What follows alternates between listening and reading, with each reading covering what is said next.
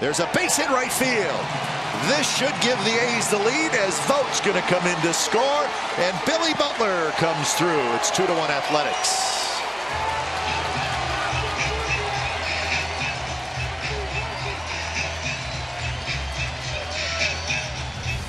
Well, someone needed to come up with a big hit for the A's, and right now, that was that. That was Billy Butler. He gets the 1-1 fastball away.